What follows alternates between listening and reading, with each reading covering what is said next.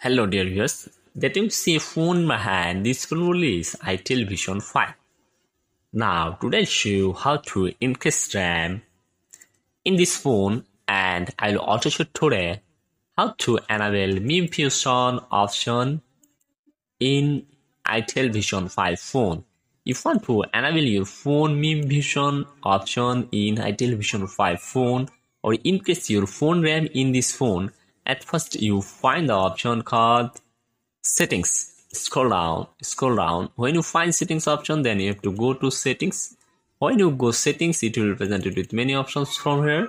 Then scroll down you will see an option called system.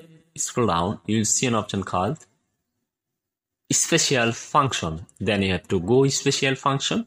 When you go special function you will see an option MemFusion then you have to go to MemFusion and if you want to increase your phone ram you just click invite 4 gb ram additional virtual ram added from internal storage. You will see an option MemFusion you just turn it on this option and you show 3 gb 2 gb and activate and restart. Just selected the text 3GB. If you want to increase your phone RAM 3GB, you just selected the text 3GB and you will see an option activate and restart and you have to click on it activate and restart and your phone RAM is finally increased RAM 3GB.